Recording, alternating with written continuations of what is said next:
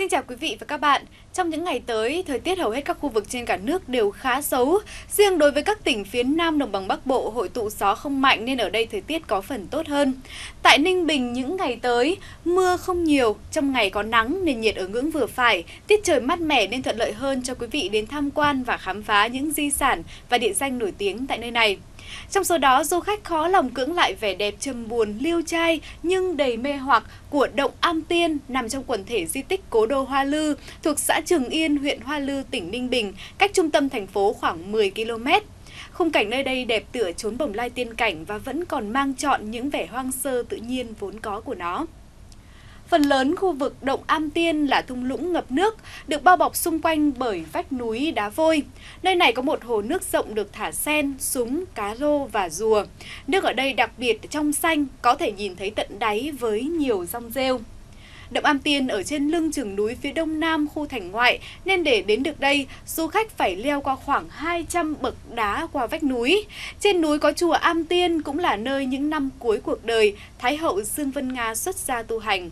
Chùa Động Am Tiên được bao quanh bốn bề là núi, tạo ra một thế giới hùng vĩ nên thơ nhưng lại khá u buồn, tĩnh mịch và huyền bí.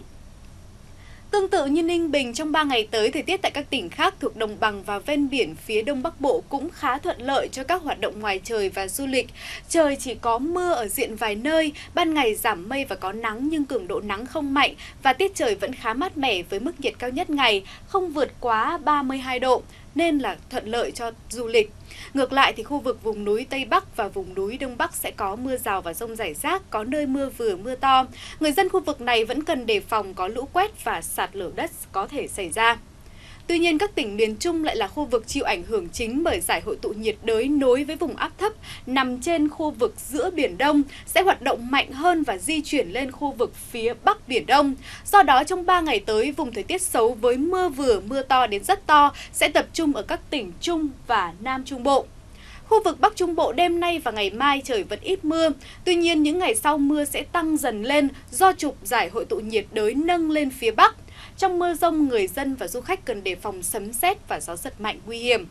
Do trong ngày trời nhiều mây nên thời tiết Trung Bộ nhìn chung khá là mát mẻ, sẽ không còn điểm nắng nóng cục bộ ở các tỉnh phía Bắc đèo Hải Vân như những ngày vừa qua, khi mà nền nhiệt cao nhất toàn miền chỉ tăng lên đến khoảng là 34 độ. Cũng chịu ảnh hưởng của giải hội tụ nhiệt đới đi qua gây hội tụ gió mạnh nên thời tiết khu vực Tây Nguyên trong những ngày tới sẽ tiếp tục nhiều mây, có mưa vừa mưa to, có nơi mưa rất to. Mưa lớn kéo dài khiến nguy cơ xảy ra lũ quét và sạt lở đất tăng cao. Người dân cũng như du khách đến đây cần hết sức đề phòng, đặc biệt hạn chế các hoạt động ở khu vực bờ sông, suối, sườn đồi yếu là những điểm dễ xảy ra sạt lở. Thời tiết Nam Bộ trong những ngày tới cũng nằm trong vùng thời tiết xấu gây ra bởi gió Tây Nam liên tục hoạt động mạnh.